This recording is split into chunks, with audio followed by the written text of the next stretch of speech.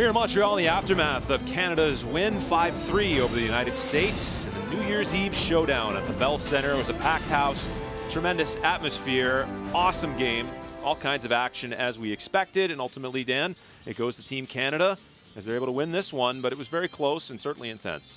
Yeah, the intensest game of the tournament so far for Team USA. The first period was filled with chances, filled with hits. There was action at both ends of the rink, big saves by both goaltenders uh, a lot throughout this match, and, and, again, Canada comes out with the win. And going into the game, there was so much focus on Connor McDavid against Jack Eichel, but it ended up being Jack Eichel matched up against the number one line for Team Canada that doesn't feature Connor McDavid, but a tremendous game for Max Domi, Sam Reinhart, Anthony Duclair. They figured in on three of the five goals. Uh, lots asked about the matchups from both coaches, and really the Canadian coach deciding the last match, the home team, and it was Reinhart matched up against Eichel all night long. A physical play against him, smothered by Darnell Nurse as well as a guy was out against him all the time.